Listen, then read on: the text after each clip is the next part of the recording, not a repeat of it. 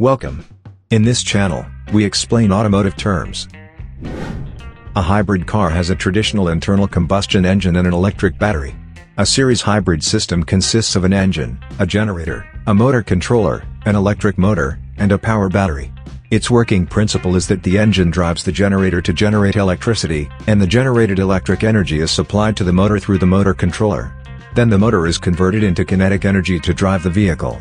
The power battery adjusts the electric energy generated by the generator and the electric energy required by the electric motor, thereby ensuring the power demand of the vehicle under various driving conditions. When the state of charge of the vehicle's battery is high, the pure electric mode is mainly used. When the state of charge of the battery is reduced to a set range, the internal combustion engine drives the generator to work. Considering the emission and efficiency of the internal combustion engine, it is necessary to strictly limit its output power within a certain range of variation. If the total energy demand for the vehicle's trip can be predicted, once enough energy is stored in the battery, the vehicle can switch to pure electric mode for the remainder of the trip, draining the battery at the end. This motor strategy is also known as the optimal series hybrid drive mode. The series hybrid is a simple system with no complexity in connection. A multi-speed transmission system, clutch, or converters are not required since the electric motor drives the reduction gear for movement. It works like a pure electric vehicle that runs on a battery source.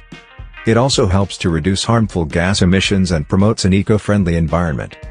However, the series hybrid vehicle propulsion is entirely dependent on the battery source. The energy conversions happening in each stage result in the overall efficiency loss. This system may require a battery and motor with a large capacity to meet its power needs, which adds to the vehicle's weight and decreases the vehicle's overall driving range. It is recommended for short trips as the corresponding internal combustion engine set with a lower power rating is used.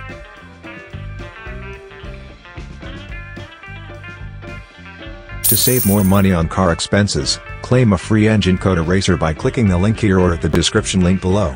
You're also welcome to leave comments below. Our mechanic professionals will answer them shortly. Don't forget to like and subscribe to our channel. Thanks again for watching this video.